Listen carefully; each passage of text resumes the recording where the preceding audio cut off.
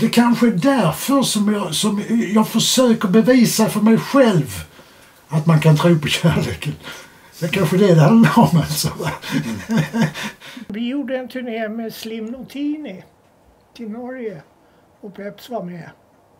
Och då spelade han ett band med Bob Marley i bilen.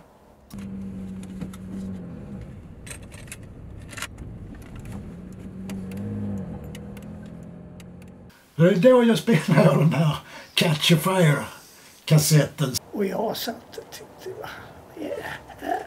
Det hände ingenting.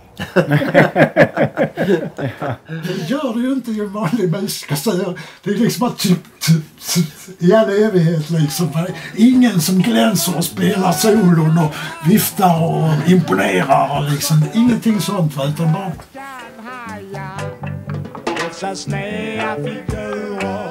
Grå kostym Alla sneda figurer som styr vårt land.